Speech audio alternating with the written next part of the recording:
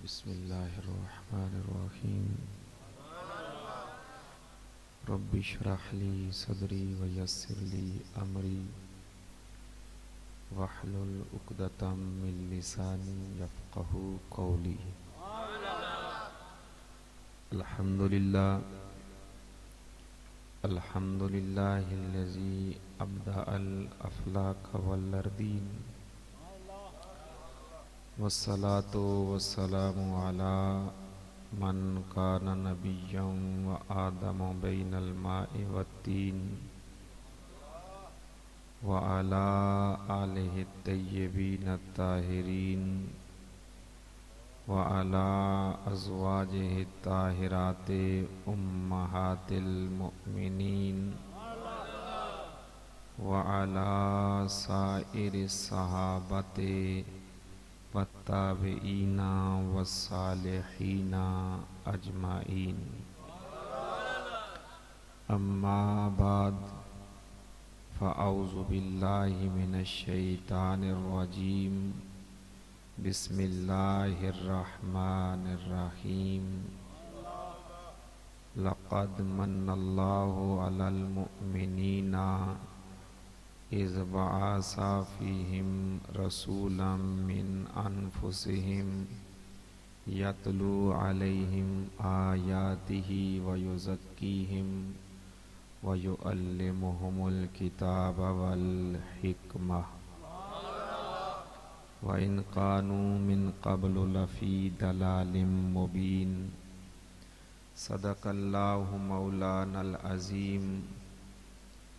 सदक़ल्लाहु मौलानल अज़ीम व सदका रसूलुन्नबील करीमुल हबीबुल अमीन अल्लाहुम्मा नव्विर कुलूबना बिल कुरआन व ज़य्यिन अखलाकना बिल कुरआन व नज्जिना मिनन कुरआन व अदखिलनल जन्नत बिल कुरआन क़ाल अल्लाह तबारक व तआला फ़ी शान हबीबिही इन्नल्लाह व मलाइकतहु युसल्लूना अलन नबी या अय्युहल्लज़ीना आमनू सल्लु अलैहि व सल्लिमू तस्लीमा अल्लाहुम्मा सल्लि अला सय्यदिना व मौलाना मुहम्मदिन व मौलाना मुहम्मद वबारिक वसल्लम वसल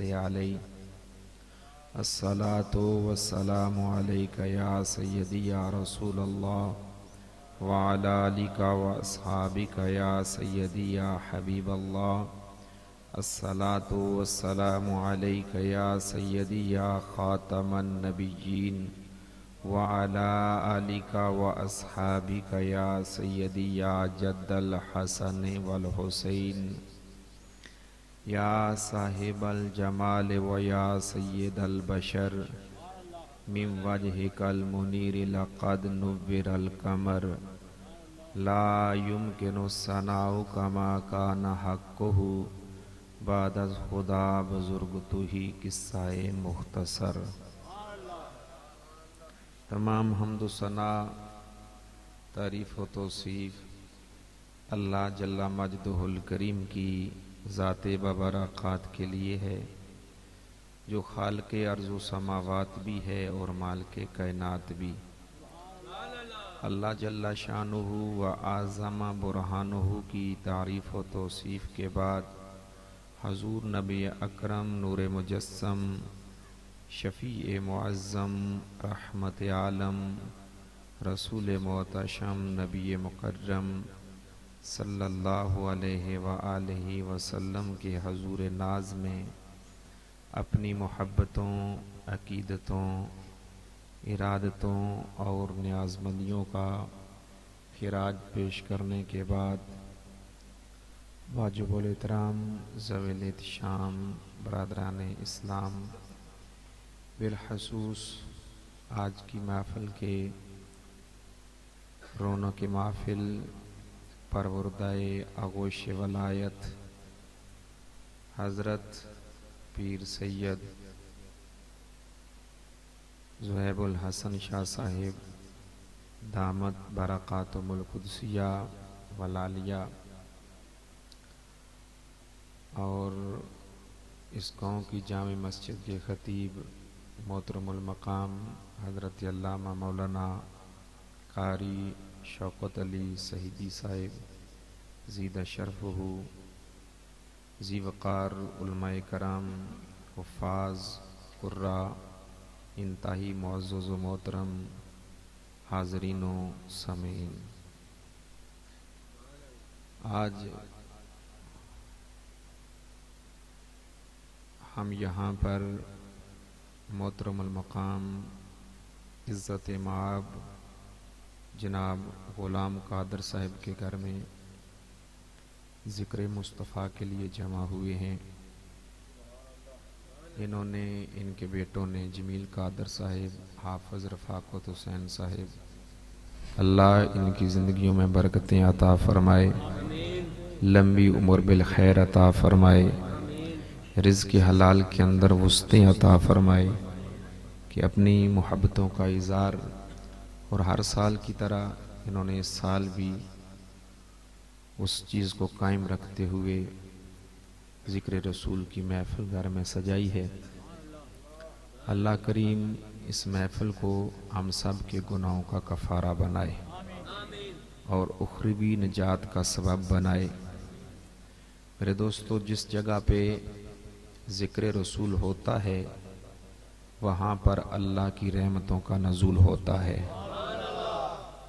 अल्लाह की बरकतें नाजुल होती हैं, रहमतें नाजुल होती हैं।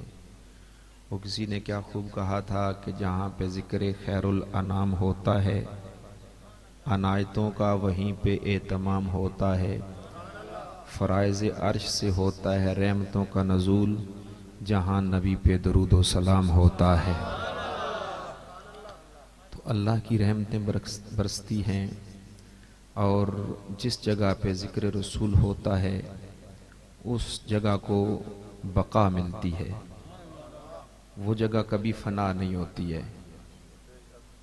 वो जगह कभी फना नहीं होती। थोड़ी तवज्जो मुझे देंगे ताकि चंद गुजारशात में आपके सामने गोश गुजार कर सकूँ। इसलिए कि आप कहेंगे कि ये क्या बात हुई? इसकी दलील क्या है कि जिस जगह पे ज़िक्र रसूल होता है, उस जगह को बका मिल जाती है। इसलिए कि हज़रत इब्राहीम खलील्लाम जो जद्दुलम्बिया हैं, जो खलील्ला हैं, जो इंसानियत के पेशवा हैं, उन्होंने जिस पत्थर पर खड़े होकर दुआ मांगी, दुआ क्या मांगी? मिलाद वाला नबी मांगा। हालाँकि देखें क्या इब्राहिम इस्लाम और पत्थरों पे नहीं चले। और पत्थरों पर आपके कदमैन मुबारक नहीं लगे। लगे हैं, फिर क्या वजह है कि आज तक वो पत्थर वहाँ पर कायम दैम है? उस पत्थर को बका मिली है, जिस पत्थर पर खड़े होकर इब्राहिम खलील्लाम ने अल्लाह से क्या मांगा? रब्बना वब आसफ़ी रसूला। ए अल्लाह, वो मिलाद वाला रसूल तो मुझे अता फरमा दे। जिस वक़्त ये दुआ मांगी सूर्य बकरा की, एक सौ उनतीस नंबर आयत के अंदर ये आपकी दुआ मौजूद है। दुआ जब मांगी ना तो हज़रत जब्राईसम हाजिर हो गए। अर्ज़ करने लगे, अल्लाह के खलील, अल्लाह ने आपकी दुआ को कबूल फरमा लिया है। आज तक वो पत्थर कायम है उस पत्थर को बका है और क्यामत तक वो पत्थर बाकी रहेगा। तो इसलिए जहाँ पे मिलाद मुस्तफ़ा का ज़िक्र होता है तो उस जगह को बका मिल जाती है। वो जगह फना नहीं होती है। तो फिर खुद अंदाज़ा करें, उस जगह को बका मिल जाए। तो जिस सीने में मोहब्बत मुस्तफ़ा हो, वो इस मोहब्बत को लेके कब्र में चला जाए, हशर में चला जाए तो फिर क्या हाल होगा? अल्लाह करीम ने कुरान मजीद के अंदर इरशाद फरमाया, लक़द मन अल्लाह इज़ बासफ़ीहिम रसूला। फरमाया कि बेशक मोमनों पर बड़ा एहसान फरमाया कि उन्हीं में से एक रसूल उन्हें अता फरमा दिया है।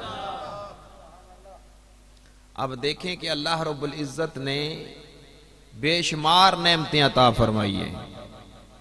उनका कोई शुमार नहीं है। लेकिन इन सारी नेमतों की जो बुनियाद है, वो मोहम्मद मुस्तफ़ा है। कि जिनकी वजह से हमें हर एक चीज़ मिली है। सबसे पहले अल्लाह करीम ने इसी नूर मुस्तफ़ा को तखलीक फरमाया है। इमाम अब्दुल रजाक ने भी इस हदीस को नकल किया और देवबंदियों के मुफ्ती अशरफ अली थानवी ने नशरुत्ती बेजिक्र नबिल हबीब नशरुत्ती बेजिक्र नबिल हबीब जो किताब लिखी है इमामबिया वसल्लम के मिलाद पर, उसमें जो पहली फ़सल बांधी है नूर मोहम्मदी के बयान में। उसमें भी उन्होंने, उसने इस हदीस को नकल किया है। हज़रत जाबर रदी अल्लाह तन आकाल सलाम के गुलाम ने अर्ज़ की सरकार, ये तो फरमाएँ, ये तो बताएँ, अल्लाह करीम ने सबसे पहले किस चीज़ को पैदा फरमाया है? जिस वक्त गुलाम ने यह अर्ज़ की, आमना के लाल ने गोले कुद्स की पत्तियों को हरकत अता फरमा दी। रहमतों के फूल बरसाए। सरकार ने फरमाया, या जा बेरो इन अल्लाह ताला खला का कबल अशियाए नूरा नबी का मिन नूर ही। ए जाबिर, सबसे पहले अल्लाह करीम ने अपने नूर से तेरे नबी के नूर को पैदा फरमाया है।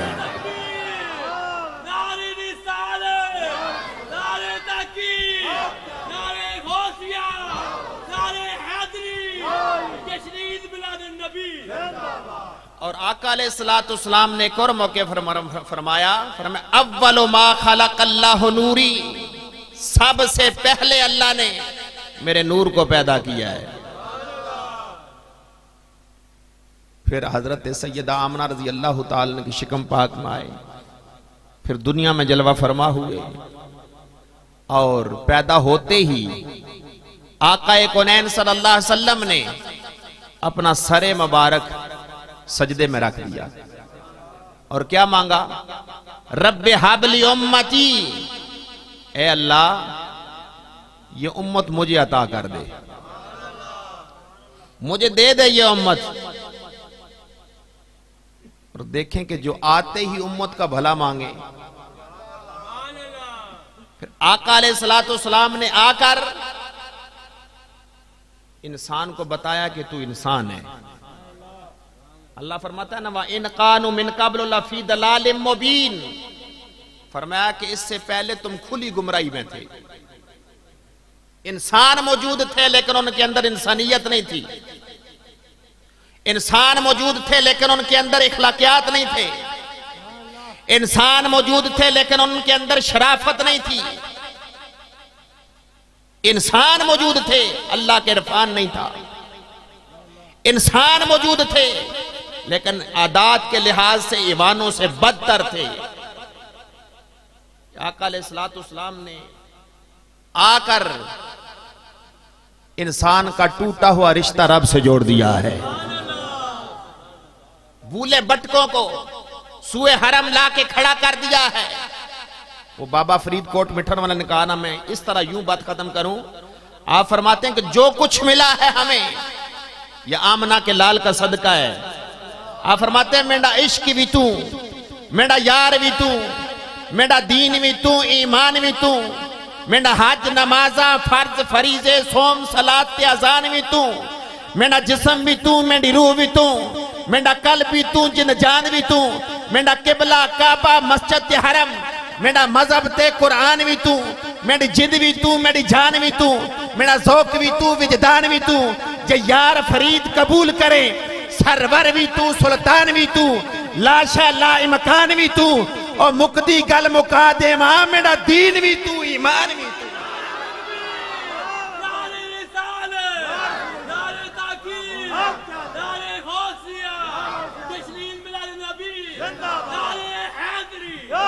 मुक्ति गल मुका देवा।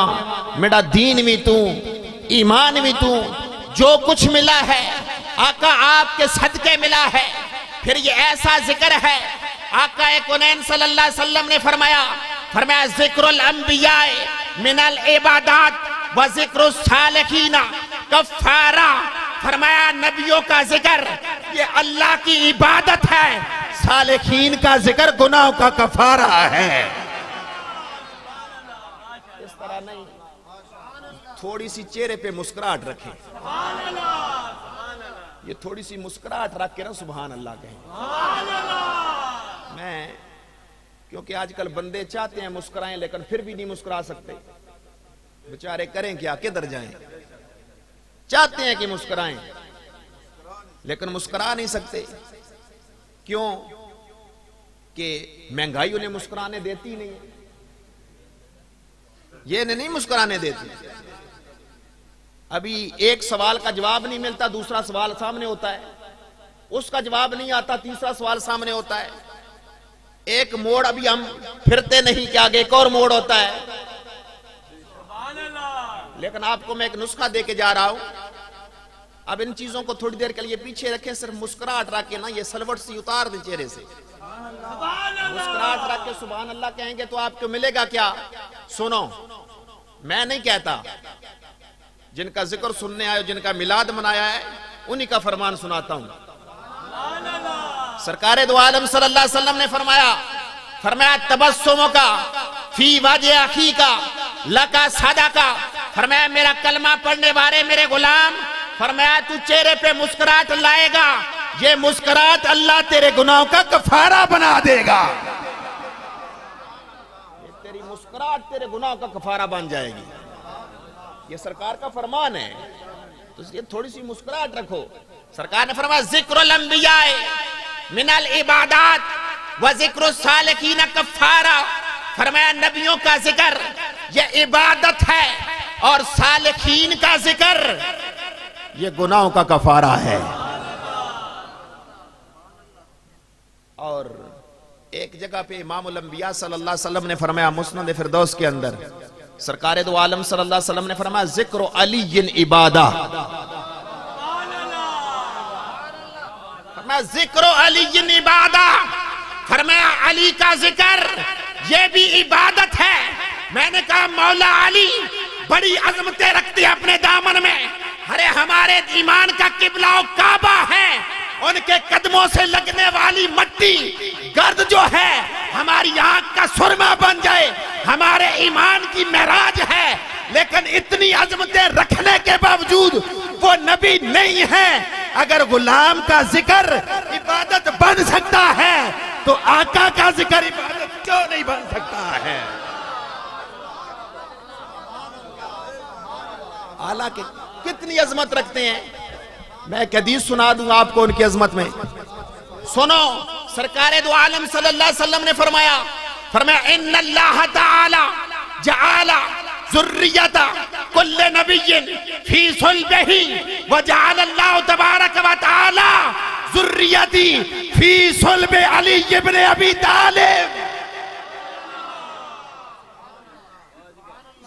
ये मौला अली शेर खुदा का ज़िक्र इबादत कौन मौला अली हसन हुसैन का बाबा फातिमा के सर का ताज ताजदार हल्लता, मुराद कुल कफा सखावत का समंदर, शुजात का गजनफर बाब मदीना इल्म, उम्मत का उस्ताद, उम्मत के नबी का दामाद, हम राजे मुस्तफ़ा, मौला अली मुश्किल कुशा, शेर खुदा।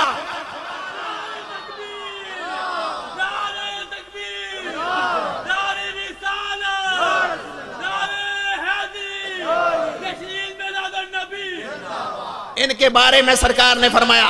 फरमाया कुल्ले फ़ी सुलबिही तबारक फ़ी सुलब अली तालिब। सुनो सुनो, गौर से सुनो। अल्लाह ने क्या शान अता की है मौला अली को? सरकार ने फरमाया, अल्लाह ने हर नबी को औलाद हर नबी की औलाद। अल्लाह ने उस नबी की पुश्त में रखी है।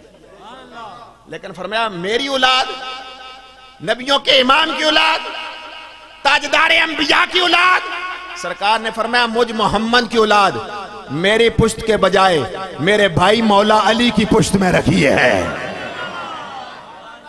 और इस हदीस का तर्जमा मेरे इमाम ने किया।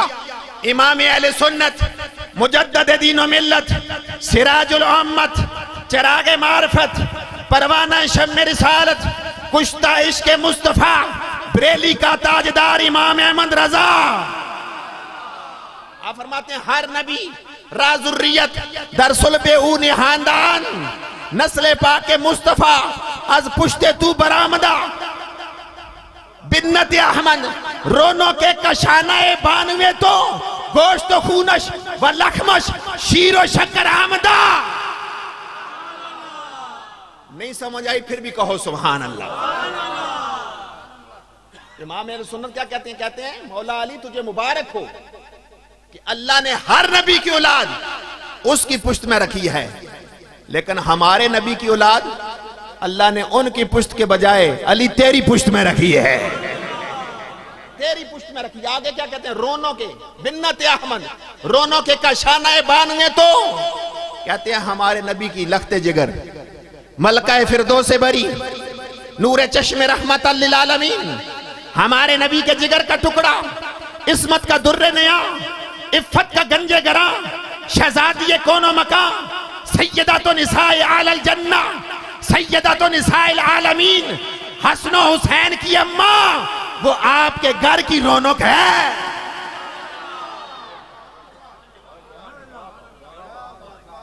अगर मौला अली का ज़िक्र इबादत है तो आका का ज़िक्र सारी इबादतों की जान है। सारी बातों और खुदा की इज़्ज़त की कसम अपने मुकद्दर पे नाज करो। इसलिए कि अल्लाह ने यह ज़िक्र जनतियों के नसीब में रखा है। जनतियों के नसीब में यह ज़िक्र है। ये मैं अपनी तरफ़ से नहीं कहता। उठाओ तफसीर दुर्रे मंसूर। लिखने वाला इमाम जलालुद्दीन सूती।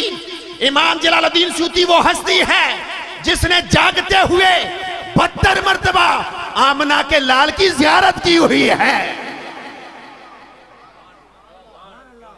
कितनी मरतबा? बहत्तर मरतबा।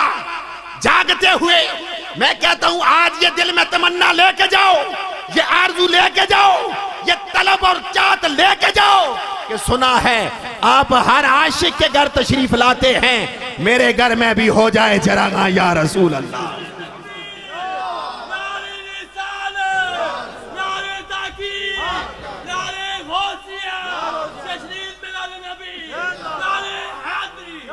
इसलिए कि जब कोई बुलाता है ना तो फिर वो आने में देर नहीं करते। इमाम शरफुद्दीन बुसीरी रहमतुल्लाह ताला डॉक्टरों ने कहा, जा तू चला जा। तबीबों ने लाइलाज कर दिया, हकीमों ने लाइलाज कर दिया, लेकिन आए ना तो लेटे हुए थे। जहन में आया कि क्यों ना तबीब आज़म को याद कर लिया जाए। मैं कहता हूँ, तुम्हारे बुलाने में देर है, उनके आने में देर नहीं है। दिल का दरवाज़ा खोलो। इमाम बसीरी ने कसीदा लिखा। जब कसीदा मुकम्मल हुआ, आमना के लाल गुलाम के घर में आ गए। गुलाम के घर में आए, फरमाया, उठ। डॉक्टर ने कहा था, तू अब चल नहीं सकता, उठ नहीं सकता। सरकार ने फरमाया, उठू। सरकार ने उठाया, फरमाया वो कसीदा पढ़ना। जब उन्होंने कसीदा पढ़ा ना मैं बिल्कुल खुलासा सुना रहा हूँ। कसीदा पढ़ा ना। सरकार ने फरमाया, ये ले, इनाम के तौर पर मैं चादर देता हूँ। इनाम के तौर पर चादर देता हूँ। इसको रख। इसलिए इसको कहते हैं कसीदा बुरदा शरीफ। बुरदा अरबी में कहते हैं, चादर को अरबी में बुरदा कहते हैं।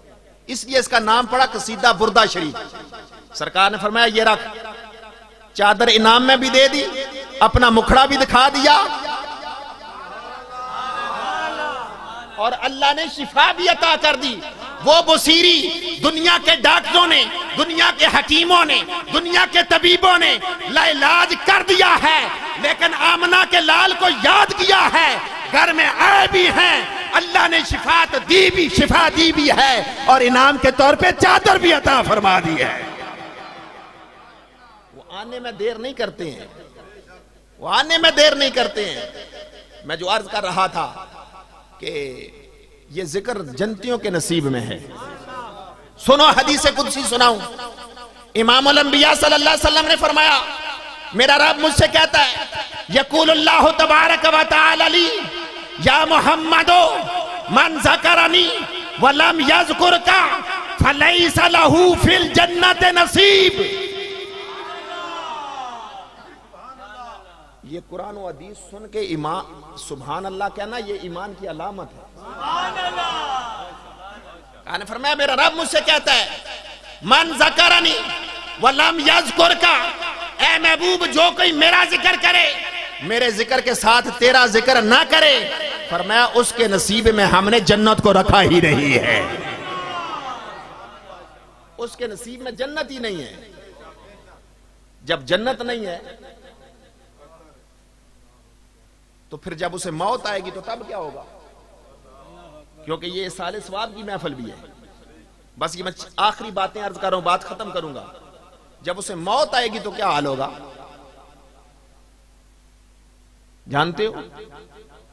हज़रत मूसा इस्लाम फरमाते हैं, ये इसी तरह है, जिस तरह ज़िंदा बकरी के ऊपर से खाल को उतार लिया जाए।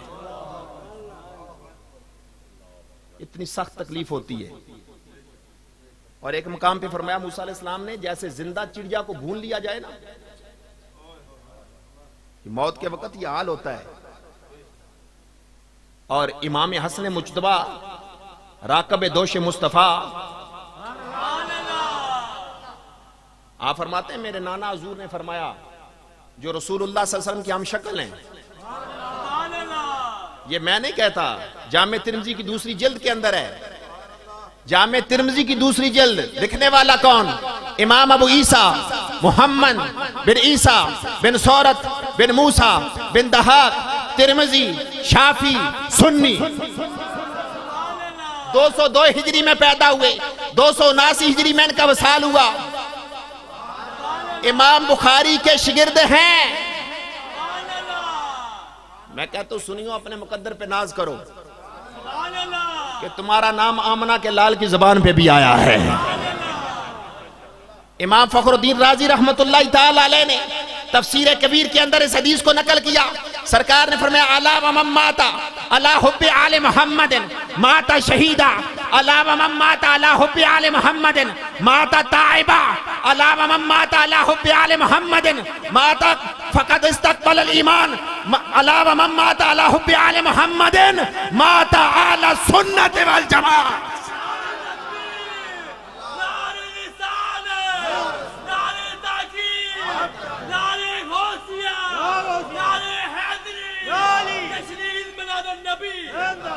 सरकार ने फरमाया सुनो इमाम यसने मुजतबा क्या है अल हसन अशबहो बे रसूलुल्लाह सल्लल्लाहु अलैहि वसल्लम मिन सद्र इला रास वल हुसैन अशबहो बे रसूलुल्लाह सल्लल्लाहु अलैहि वसल्लम कान असफल मिन जालिक। फरमाया, क्या? हज़रत हसन रज़ी अल्लाह तआला सर के बालों से लेकर अपने सीने तक या अपनी नाफ तक अपने नाना मोहम्मद मुस्तफ़ा की तस्वीर है। और इमाम हुसैन रज़ी अल्लाह फरमाते हैं, सीने से लेकर या नाफ से लेकर, अपने पाँव के नाखनों तक अपने नाने मोहम्मद मुस्तफ़ा की तस्वीर है। और इस हदीस का तर्जमा मेरे इमाम ने किया, इमाम सुन्नत ने। फरमाते हैं, एक सीना तक मुशाबे, एक वहाँ से पाँव तक, हुसने सबतैन इनके जामों में है नीमा नूर का, दोनों के मिलने से साफ़ शक्ल पाक आया, खत्ते तुम में लिखा है दुवर का नूर का, नूर की सरकार से पाया तो शाला नूर का, हो मुबारक जुन्नूरैन, तुझको जोड़ा नूर का, तेरी नस्ल पाक में है बच्चा बच्चा नूर का, तू है आने नूर, तेरा सब कराना नूर का।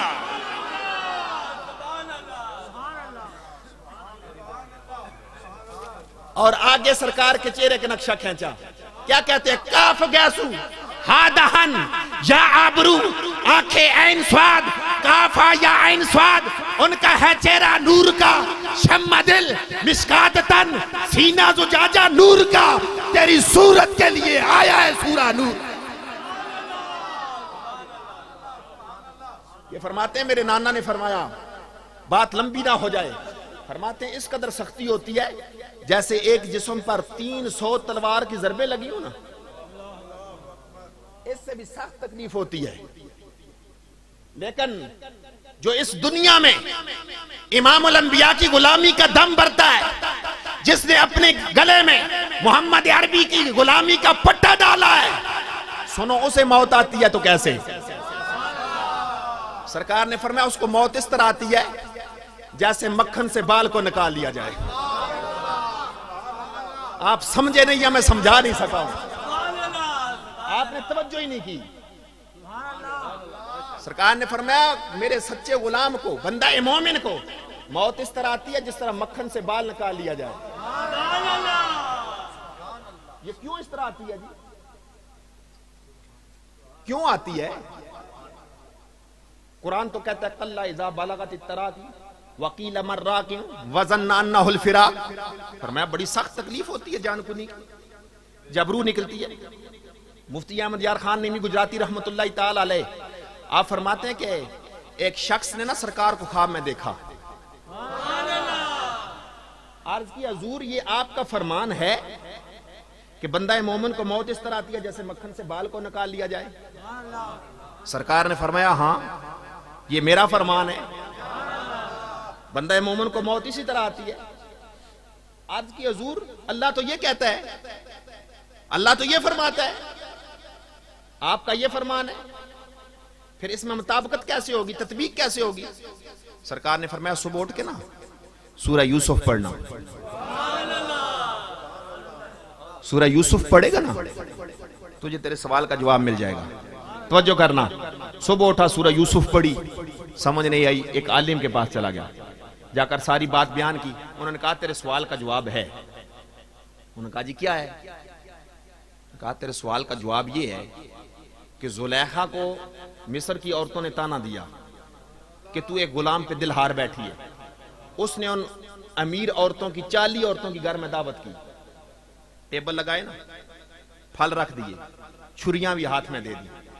गई ना हज़रत यूसुफ इस्लाम के पास, जाकर कहने लगी, अल्लाह के नबी, मेरी इज़्ज़त का मामला है। जरा पर्दा चेहरे से हटा के आओ ना। जरा नकाब हटाओ ना चेहरे से। क्योंकि आप इतने खूबसूरत थे, नकाब करते थे। जरा नकाब हटा के इनके सामने से गुजरो ना। इन्हें पता चले, वो रूमी कश्मीर ने कहा, तीन महीने रज्जी खलकत। वेख यूसुफ का नानी, जिन्ना डिठा मोहम्मद अरबी और अज्जे दवे जहानी। उसने यूसुफ पे कटी मिस्र में अंगुश्ते जना।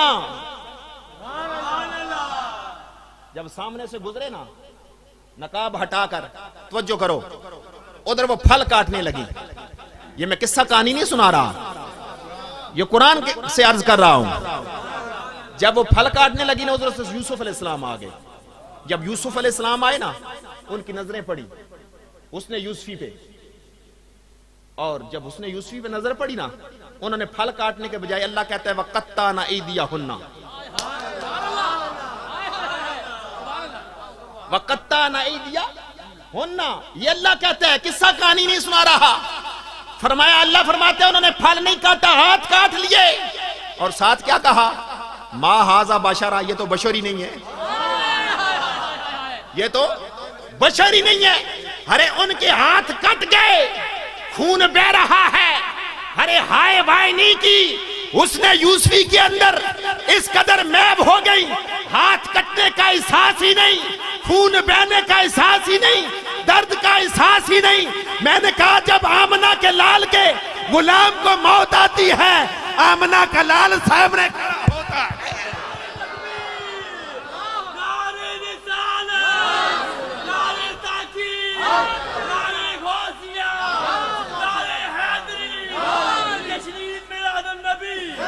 जब आका के सच्चे गुलाम को मौत आती है तो मोहम्मद अरबी सामने होते हैं। वो अर्ज़ करता है कमली वाले आका।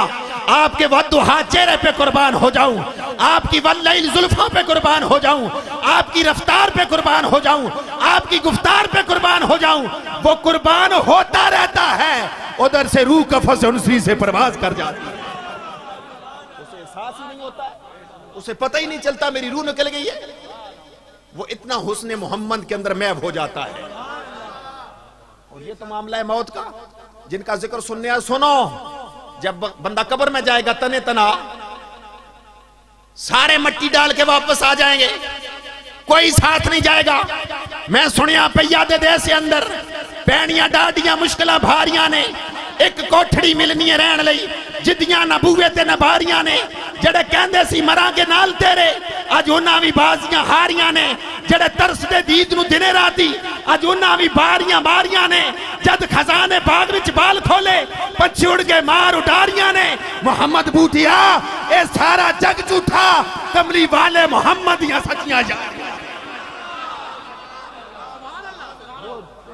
वो आएंगे वो आएंगे जब नकीरैन सवाल करेंगे, मन रब्बुक, मा दीनुक, मा कुंता तकूलु फ़ी हक हाजा रजल। जब बंदा मोमन सवालों के जवाब दे देगा ना, मैं खुलासा अर्ज़ कर रहा हूँ। मिशका शरीफ के अंदर आता है, सरकार ने फरमाया। आमना के लाल ने फरमाया, जिनका ज़िक्र मिलाद की मैं फरमाया, सुनो, वो कितने लजपाल हैं? सरकार ने फरमाया, जब सवालों के जवाब दे देगा ना मोमिन तो पता है फरिश्ते आगे से क्या कहेंगे? ये मैं नहीं ना कह रहा। ये जिस नबी का कलमा पढ़ते हो, वो फरमा रहे हैं। सरकार ने फरमाया, कद कुन्ना नालमो अन्ना का तकूलो हाजा। फरिश्ते कहेंगे, हमें इल्म था कि तू हमारे सवालों के जवाब सही सही देगा। अच्छा उन्हें कैसे पता चला जी? उन्हें कैसे पता चला कि ये सही सी जवाब देगा? ये गुलाम कादर साहब जो इतना खर्चा करते हैं हर साल तो आका मेहरबानी नहीं फरमाएँगे? क्यों पता चला? कहते हैं आँखों में नूर चेहरों पे उजाले होंगे मुस्तफ़ा वालों के अंदाज नराले होंगे। इसलिए उन्होंने पहचान लिया उन्होंने पहचान लिया और फिर आखिरी बात अर्ज़ करने लगा हूँ बात खत्म करूँ। इससे जो अगला मरला है जिनके मिलाद की महफिल में आया सुनो। अल्लाह के यहाँ उनकी वजात का हाल क्या है? अल्लाह के यहाँ उनके मकाम मरतबे का हाल क्या है? हले क्यामत का दिन होगा। एक दिन फ़ी यौमिन का नमिकदार खमसीन अल्फ़ा सना। अल्लाह फरमाता क्यामत का एक दिन इस दुनिया के पचास हज़ार साल के बराबर होगा। आज उनके साथ वफा करो। आज वक्त है कि वफा करो। इसलिए कि आमना के लाल आए तो तब भी उम्मत का बला। जब दुनिया से विसाल फरमाया ना, लाद में उतार रहे हैं। फजल बिन अब्बास रज़ी अल्लाह तुमा फरमाते हैं, उस वक्त भी मैंने देखा कि आमना के लाल के लब हिल रहे हैं। मैंने कान करीब किए पे, आज तो सुनू सरकार क्या मांगते हैं रब से? तो तब भी कह रहे थे रब हबली उम्मती। उम्मत का भला मांगा। लेकिन आज उम्मत है, ये किधर जा रही है? होश ही नहीं है, क्या कर रहे पता ही नहीं चल रहा किधर जाए। सुनो, उधर का एक दिन, इधर के पचास हज़ार साल के बराबर। अरे फिर ये सूरज जो है, हज़ारों मील दूर है। लेकिन इसके सामने कोई खड़ा नहीं हो सकता, जून जुलाई में। उस दिन इसका क्या हाल होगा? सरकार ने फरमाया, ये एक मील के फासले पर होगा। साहब, ये रसूल कहते हैं, मुझको ये इल्म नहीं कि ये मील जो है, मुसाफत का मील है, या जो सुरमा दानी के अंदर सलाई डाली जाती है। आँखों में सुरमा डालते हो ना? ये सुरमा दानी के अंदर जो सलाई नहीं डाली, कितनी होती है? इतनी। अरबी में उसको भी मील कहते हैं। इतनी सी होती है। पर मैं, मुझको ये इल्म नहीं, अगर इतने दूर हो आज इसकी पीठ हमारी तरफ़ है। उस दिन चेहरा होगा इसका हमारी तरफ़। फरमाया, लोग भोले हो जाएँगे। लोगों के बीजे बाहर आ जाएँगे। मारे मारे फिरेंगे कि अब क्या किया जाए। अब क्या करें? अरे क्या लोग कहेंगे कि हमें जहन्नम में डाल दिया जाए। इस सख्त दिन से हमारी जान तो छूटे। इतना सख्त दिन है मारे मारे फिरेंगे। कोई पुरसाने हाल नहीं है। अल्लाह फरमाता यौम यफिरुल मारो, मिन अखी है वह उम्मे ही वह अबी है वह साहिबत ही वह बनी है। सारे रिश्ते खत्म हो जाएँगे। माँ बाप भी भाग जाएँगे। औलाद माँ बाप से भाग जाएगी। बीवी खामंद को छोड़ जाएगी। खामंद बीवी को छोड़ जाएगा। दोस्त यार भी छोड़ जाएँगे। कोई पुरसान हाल नहीं होगा। आदम अलैहिस्सलाम के पास जाएँगे, कहेंगे, अल्लाह के नबी हो।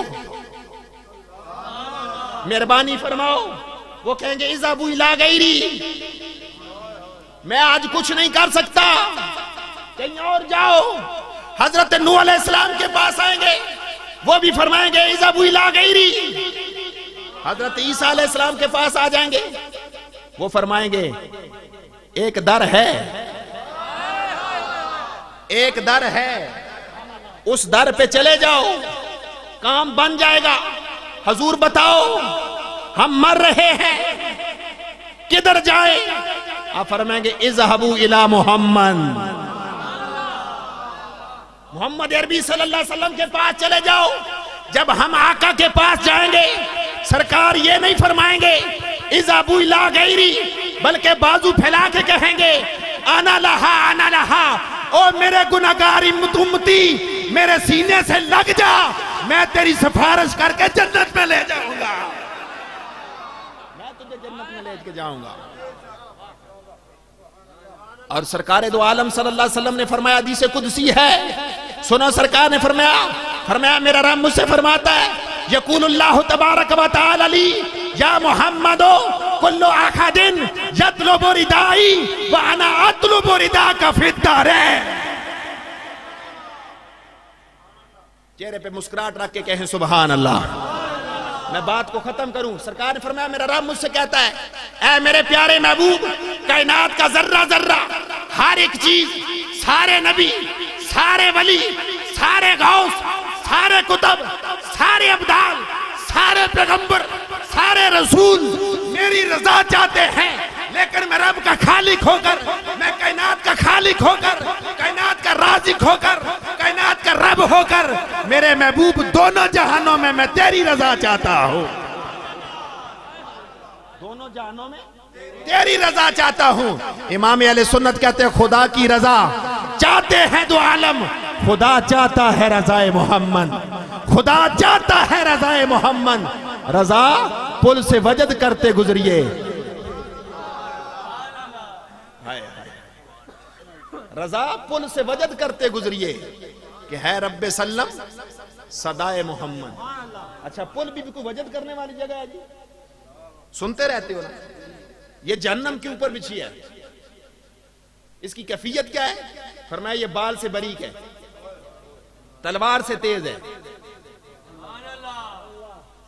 इमाम अहमद रजा कहते हैं, रजा, तुझको डरने की ज़रूरत नहीं। तू तो है अब दे मुस्तफ़ा। तेरे लिए आमा है, तेरे लिए आमा है।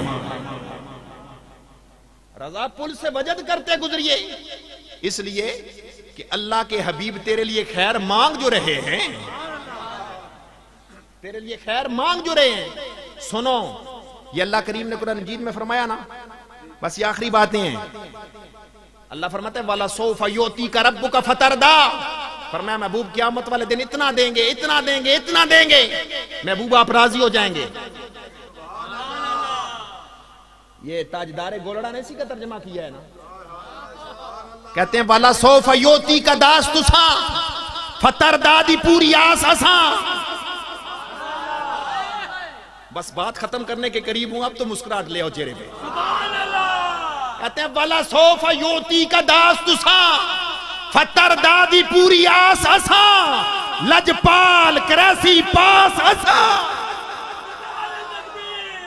लजपाल क्रैसी पास असा। जिस वक्त यह आयत नाजुल हुई ना तो साहबा कराम ने सरकार को घेरे में ले लिया। अर्ज़ करने लगे, सरकार, ये बताए ना, आप अल्लाह से कैसे राज़ी होंगे? कैसे अल्लाह से राज़ी होंगे? कैसे अल्लाह से राज़ी होंगे? सुनो, सरकार ने क्या फरमाया? फरमाया, मेरे गुलामों, जब अल्लाह मुझे राज़ी करना चाह रहा होगा तो मैं कैसे राज़ी हूँगा फरमाया, सुनो, फरमाया, इजन लारदा ला अर्दा ला अर्दा, व वाहिद मिन उम्मती फिन्नार। फरमाया, मुझको अल्लाह की इज़्ज़त की कसम है। मैं उस वक्त तक राज़ी नहीं होगा जब तक अपना आखिरी उम्मती जहन्नम से निकाल के जन्नत ना ले जाओ अपना आखिरी उम्मती भी जहन्नम से निकाल कर जन्नत ना ले जाओ उस वक्त तक राज़ी नहीं होगा। मेरे दोस्तों उस नबी का मिलाद बनाने आए हैं। जो दुनिया में कब्र में आखिरत में काम आने वाले हैं। उनके सिवा सारे रिश्ते खत्म हो जाएँगे। एक ही रिश्ता उधर काम आएगा। वो है आमना के लाल मोहम्मद मुस्तफ़ा सल्लल्लाहु अलैहि वसल्लम। इसलिए उनका मिलाद हर बंदा मोमिन को मनाना चाहिए। क्योंकि हर एक की गर्दन पर मोहम्मद अरबी सल्लल्लाहु अलैहि वसल्लम का एहसान है।